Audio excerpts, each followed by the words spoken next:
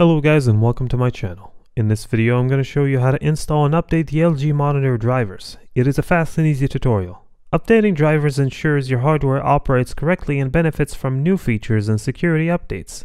Device drivers are essential for the proper functioning of your computer and outdated drivers may lead to hardware issues or poor performance.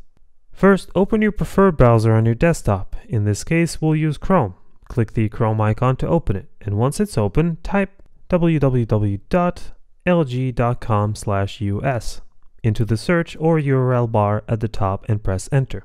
Next, click the support link at the top of the page and when the page loads, scroll down to the software and drivers section and click on it. Then scroll down and select monitors, choose the appropriate category and select the monitor you have. Select the driver version for your operating system, whether it's Mac OS or Windows, wait for its download to complete. Once the download is finished, open the installer file and follow the on-screen instructions to install the driver. After installation, restart your computer.